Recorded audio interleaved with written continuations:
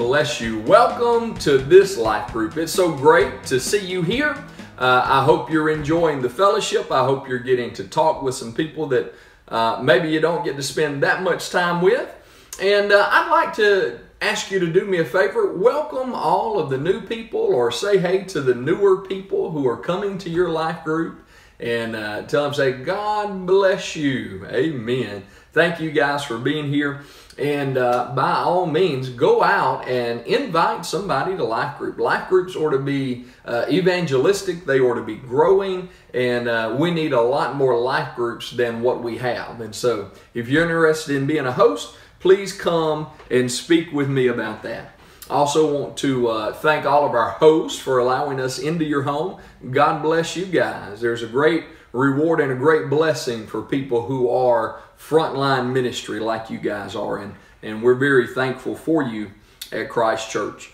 Uh, I'm going to pray, and we're going to get straight into the Word tonight. Let's do that. Father, in the name of Jesus, we thank you that your word is so greatly anointed. Your word does not pass away. Lord, we come and we go, but your world, your, your word remains forever, Father. Lord, there's, there's all sorts of things that we attach so much importance to that are just fading things. Lord, help us to hold your word in high esteem and live by it. In Jesus' name we pray. Amen and amen. Uh, tonight is our uh, 10th week of our 12 week life group series. And uh, our relationship principle uh, tonight that we're finishing up is that the greatest are servants. The greatest are servants. Tell somebody, you ought to be great. Amen. You ought to be great. The greatest are servants. Matthew chapter 23, verse 11 and 12 says, The greatest among you will be your servants. For whoever exalts himself will be humbled, and whoever humbles himself will be exalted. In that scripture right there, you have a job and God has a job. Uh, your job is to humble yourself because the natural tendency of our flesh is to lift ourselves up. But your job as a Christian to be Christ like is to humble yourself and God's job is to exalt you. You don't ever want to get in the business of taking God's job and exalting yourself because that will force Him to take your job and He'll be in the position of humbling you. And uh, that's, that's not a good uh, position to be in. I, I think He's better at humbling. He's better at everything than we are. He's better at humbling than we are, and He's better at exalting than we are. So do your job and let God do his job. Last week we covered uh, our desire to be great. We covered how to handle ambition and our desire to be noticed. We discussed all of those things. This week we're going to kind of pick up uh, the last half of the greatest are servants. And uh, I want to talk to you about a few things. Uh, I want to talk to you about godly humility, humility, how you live a humble life. Uh, how does humility handle our tendency to compare ourselves to others? Is the first thing I want to discuss with you. It's such a a dangerous and such a deadly thing when we fall into the habit of always comparing ourselves with others. But most of us do it all the time.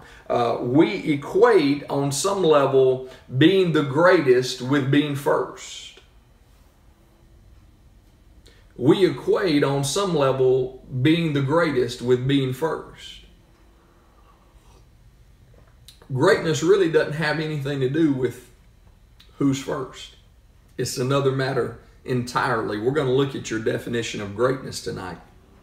But when we walk into a room, when we go into a business meeting, when we start a conversation, do we not find ourselves asking, where do I stand in this social setting? Am I ahead of this person or behind that person? Am I above or am I below? And, and we all fall into the comparison trap far too often.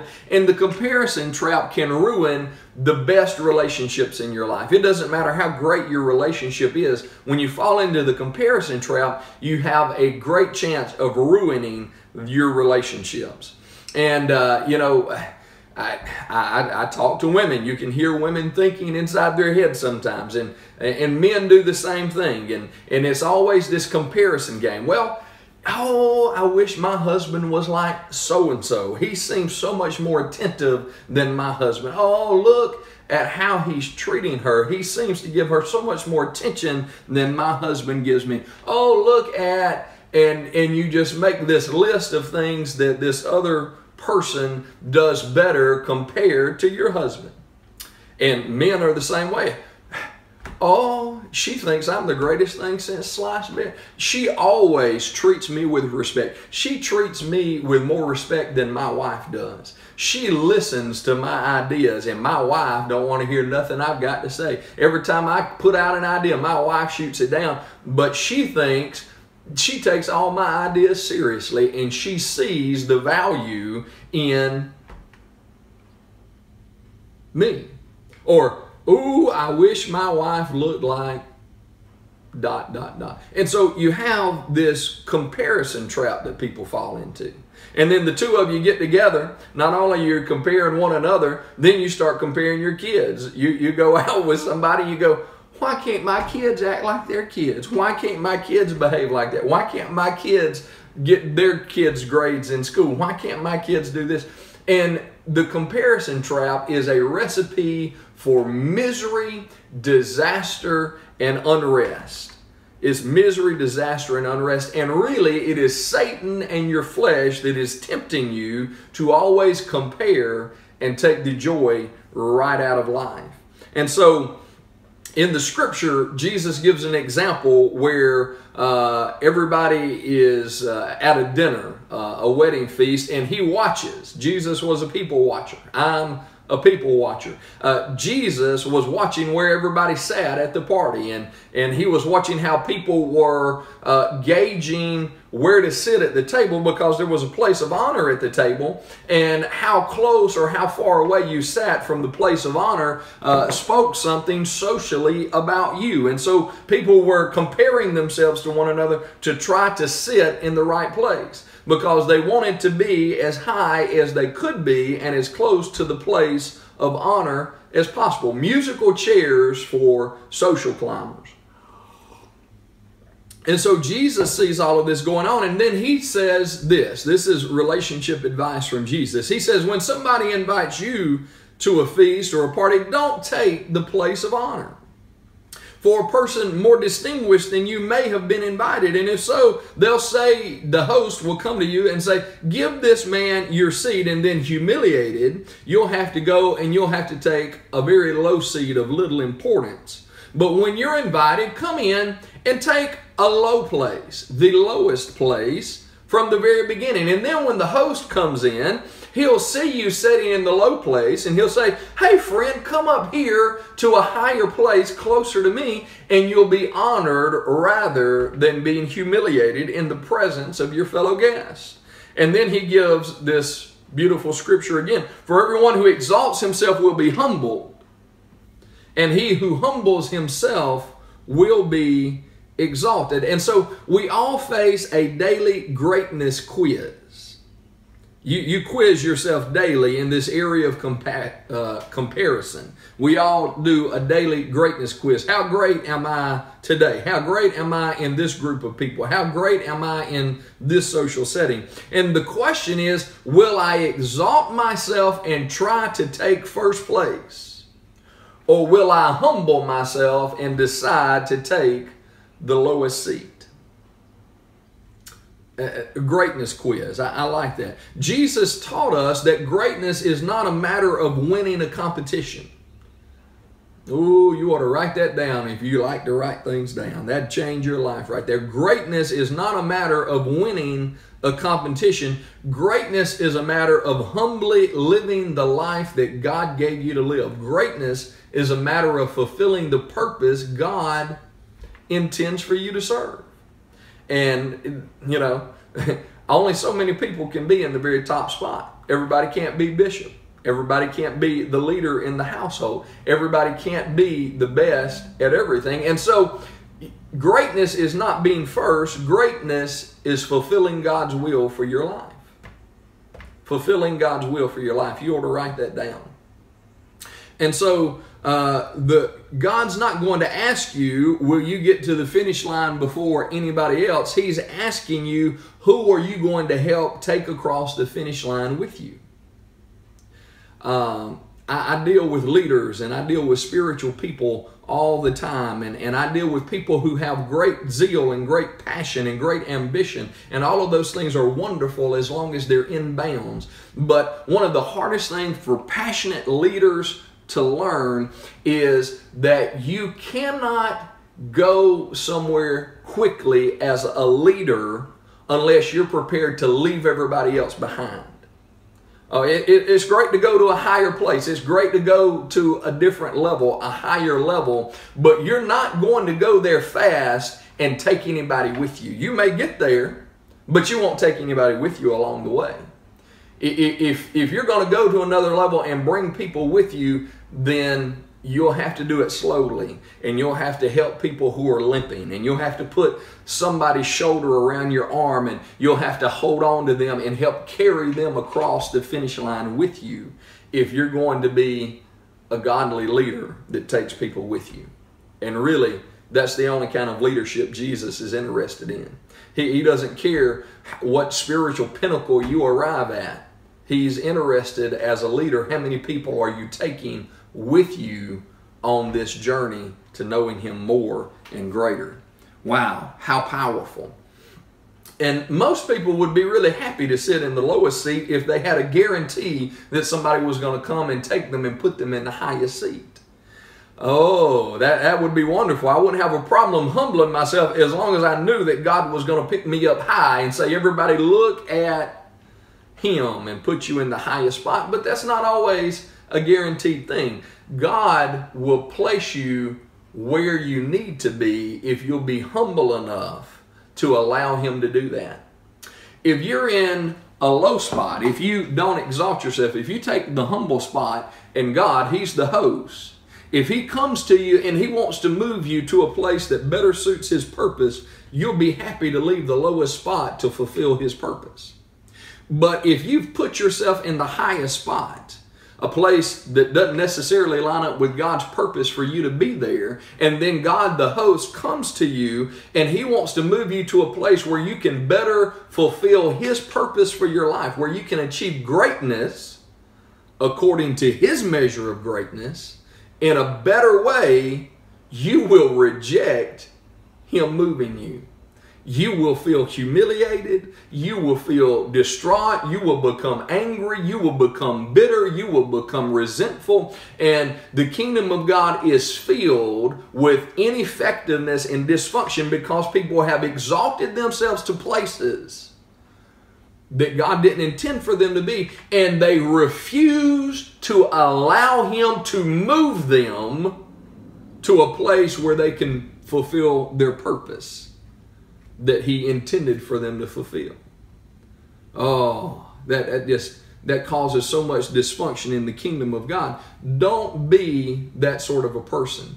Be somebody who is always willing to achieve what God wants you to achieve, not what you think would make you look the greatest. Mm, I'm going too slow. I, am I'm, I'm getting off of my, my notes and into leadership teaching tonight. But this is great teaching for everybody. Everybody.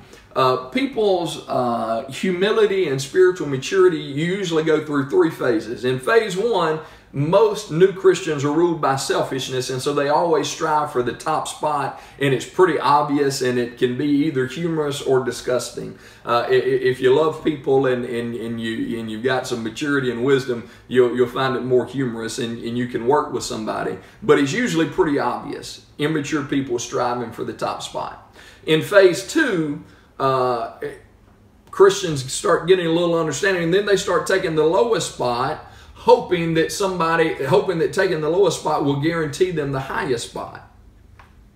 And, and then those people end up resenting what they're doing, and, and that causes all sorts of problems. But then there's a third phase where we have gotten comfortable in our own skin. And we are equally comfortable either in the bottom spot or the top spot. Paul said that most beautiful thing where I, have learned to be content in every circumstance that I find myself in. You have to be comfortable enough in your own skin that no matter what your assignment in any one given situation is, it doesn't damage who you are as a person, does it change who you are as a person, and uh, you, you can just function in that role in that particular group because you're going to find yourself being in the top spot in some situations, in the lowest spot in other situations, and somewhere in the middle everywhere else. And you're not going to be in the top spot all that often simply because there's only one top spot. You're going to be in one of the other positions most of the time. Occasionally you'll be in the top spot. And so if you only operate the right way when you're in that spot a small percentage of the time and the rest of the time you have your lips stuck way out here, uh, then you're just never going to function really well at all. As a matter of fact, you'll be so warped that when you get the top spot, you won't even function well there. It'll be about you instead of God's purpose, and you'll make a train wreck out of things there as well. But here is the beautiful surprise that God brings. It's often that in lower spots or even the lowest spot that we find life's greatest blessings. The richest relationships, the purest joys, and the most profound influences are often to be found out of the limelight before you gain any notoriety when you are free to simply love and serve without all of the attention. I talked to somebody just recently and they said, Man, I, I spent time with them away from church, and people are so different when you're away from church. It's like this mask comes off, and people are just real and they're fun and, and they're so genuine, and it is fantastic. Oh, it's just so much easier to serve God when you're not trying to always put on a show for people. So understand that you've got to enjoy no matter what circumstance you find yourself in, and you got to be able to serve effectively no matter where you're at. You got to do the daily, daily greatness quiz and stop comparing yourself to other people. Wherever God puts me today, I'm going to do something to make a difference for Him and change the world today. It, it doesn't matter if I'm a Sunday school teacher, it doesn't matter if I'm following uh, somebody else's leadership, it doesn't matter if I'm just a volunteer, it doesn't matter if I'm only doing this on this committee or whatever at, at school or in church or in the family. Make a difference for God wherever you're at. And so, humility should handle comparisons in this way reject comparisons. Uh, be willing for God to place you where you can best fulfill His purpose. Greatness is not being first, greatness is fulfilling your purpose. And so, humility rejects comparisons, and humility handles your relationship with God this way. You again, the quiz is: Will I exalt myself or will I humble myself?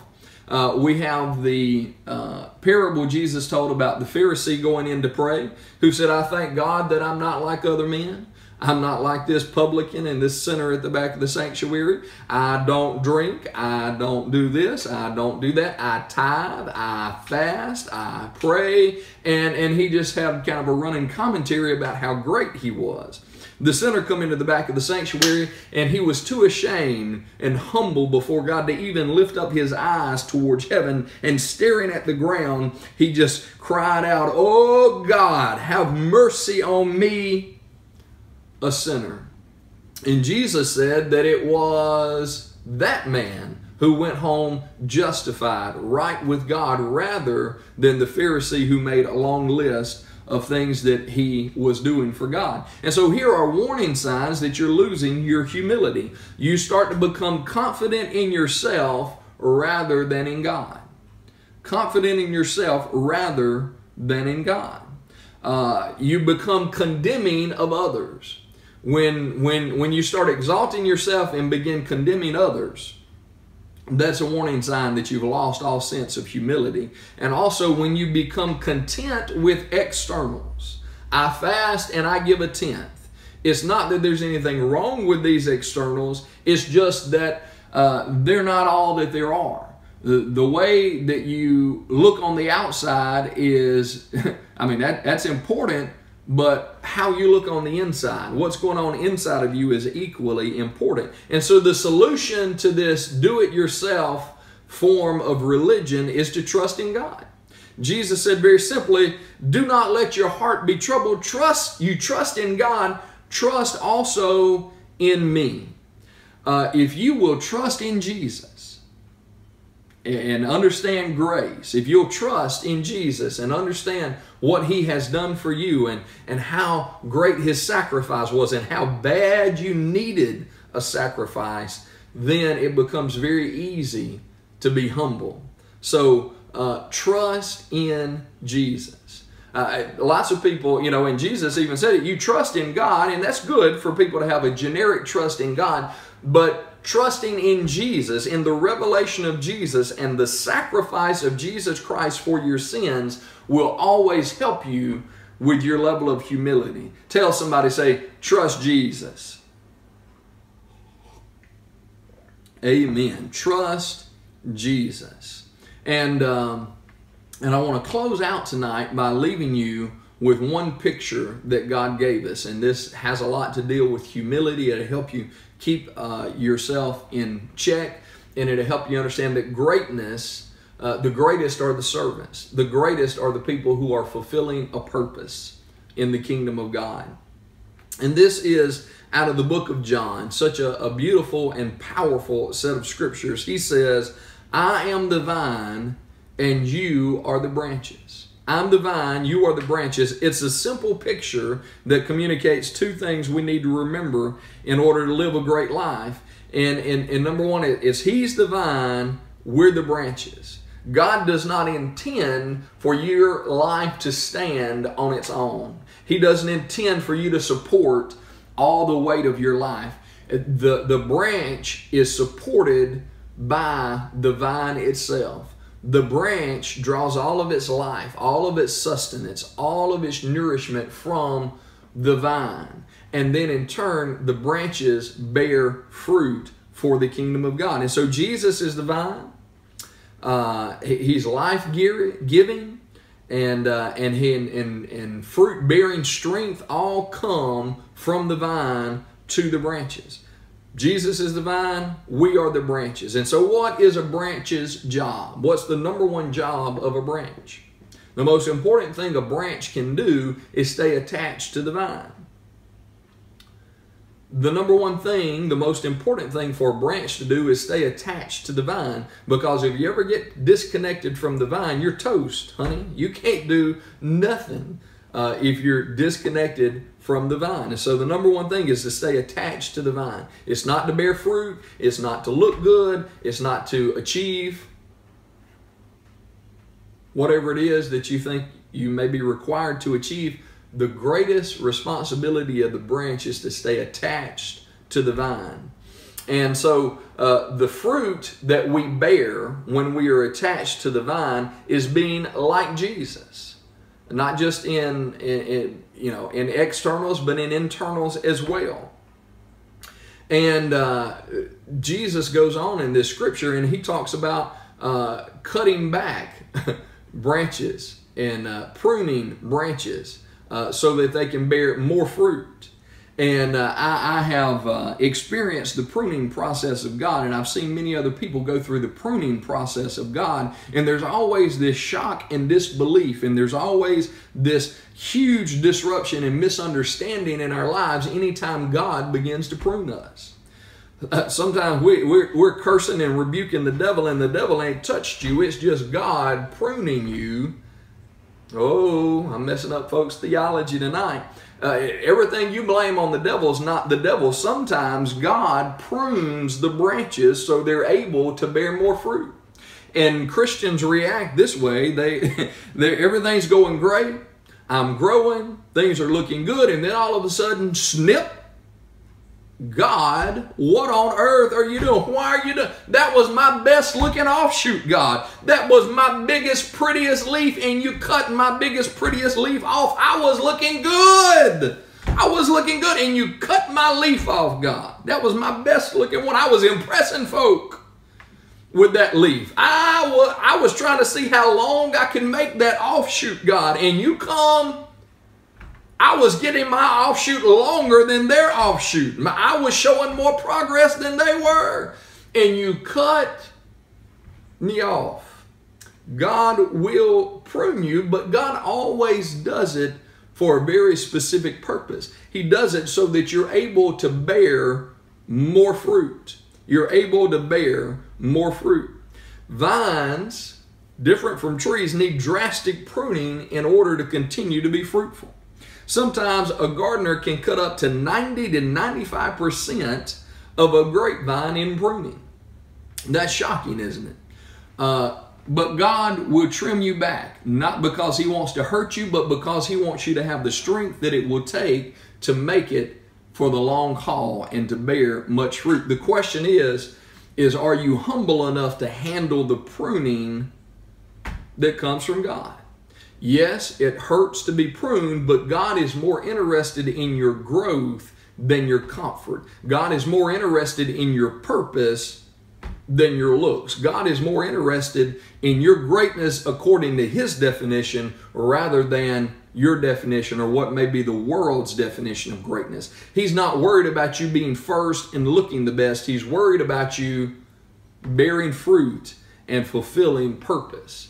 God's message is simple Abide in me, and I in you. Stay 100% attached to God, and you'll deal better with the comparison trap. You'll deal better with your relationships in life, and you'll stay uh, closer to your purpose and greatness in God because you'll be fulfilling the purpose that He has for you.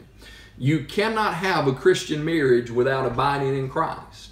You cannot have a Christian business. You can't have a Christ centered home. You can't do anything. You can be a Christian with a home and you can be a Christian who's married, but you're not going to have a Christian marriage, a Christ like marriage or home, unless you stay attached to the vine, abiding in the vine. And so we all have a daily decision to make. Are we going to humble ourselves or exalt ourselves? That's your daily greatness quiz. Am I going to exalt myself today or am I going to humble myself today? Such a powerful question to ask you. And so uh, I, I'm going to leave you with this question tonight Is there any ugly point of pride that you have been ignoring in your life that now might be a good time to deal with? Listen to me, the comparison trap will end marriages. You don't know how he acts at home. You just know the way he acts in public. You don't know the way she acts at home. You just know the way she acts in public. You don't know how she treats her husband. Uh, you, you, she may think you, treat you like you're the greatest thing since sliced bread, but she's not picking up your dirty underwear off the floor either. And so, it, oh Jesus, I could just preach right there. Don't fall into the comparison trap and for goodness sakes, never compare your children to one another and say, why can't you be more like so and so? Or why can't you be like your friends down the street? Or why can't you be like your sister? Or why can't you be like? Never fall into that comparison trap. That's a dangerous thing. And so, what point of pride do you need to deal with tonight? And, uh, and I'm going to pray for you, and I just believe you're going to have a great discussion tonight be real with uh, one another tonight. Father, in Jesus' name, we thank you for your word. And Lord, we thank you that you can help us uh, to be so comfortable that we can serve you whether we're in the top spot or the bottom spot. That, Lord, we can be so close to you and we can know you so well and we can feel so assured in the value that you've placed in us that, Lord, we don't have to take our value from external things and external positions and we can just be free to serve you in love and in truth and with honor. And Lord, we thank you for that. Bless the discussion tonight. In Jesus' mighty name, amen and amen. God bless you guys. Have a great discussion.